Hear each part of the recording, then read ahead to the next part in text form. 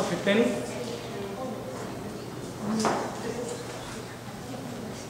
السلام عليكم ورحمة الله وبركاته. بسم الله الرحمن الرحيم. إن الحمد لله نحمده ونستعينه ونستغفره.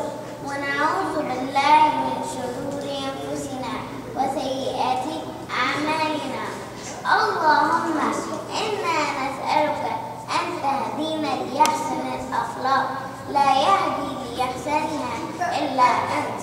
واصرف عنا سيئها. لا يصرف عنا سيئها إلا أنت.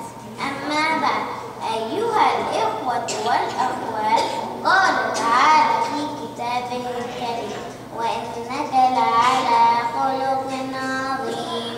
إن من أفضل الأعمال التي دعا إليها الشر حسن الخلق ويشمل جوانب في حياة الفرد المسلم فيدخل تحته الأقوال والأعمال والعبادات والمعاملات.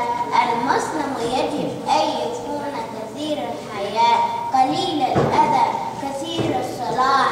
صدوق اللسان وكونا صبورا رفيقا شفيقا. فإن لحسن الخلق آثار عظيمة. في الدنيا يحبه الناس ويقدرونه ميزانه ويجب رضا الرحمن.